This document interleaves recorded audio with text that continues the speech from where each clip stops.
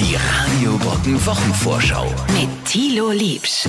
Heute startet die Falschparker Aktionswoche. Bevor Sie jetzt wild Ihre Kiste irgendwo hinstellen, so ist das nicht gedacht. Es geht eher darum, das zu vermeiden. Ich finde, man könnte das auch von der Straße auf den Supermarkt ausweiten. Immer hat irgendwer seinen Korb vor der Tiefkühltruhe geparkt und ich muss mich lang machen, um meine gesunde Pizza mit 30% Fettanteil in der Trockenmasse zu ergattern.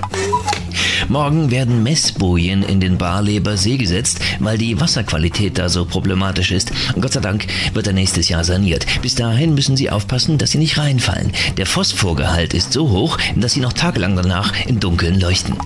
Am Freitag startet die bundesweite Insektenzählung. Das klingt nach Arbeit, da haben Sie recht. Sie können natürlich helfen, wenn Sie wollen. Einfach eine Strichliste machen, wenn Sie mal wieder so einen kleinen Krabbelfreund mit der Zeitung oder wahlweise Ihrem iPad erschlagen haben und den Kadaver nummeriert in einem Einwegglas aufbewahren. Danke. Die Wochenvorschau mit Thilo Liebsch. Zum Nachhören auf radiobrocken.de.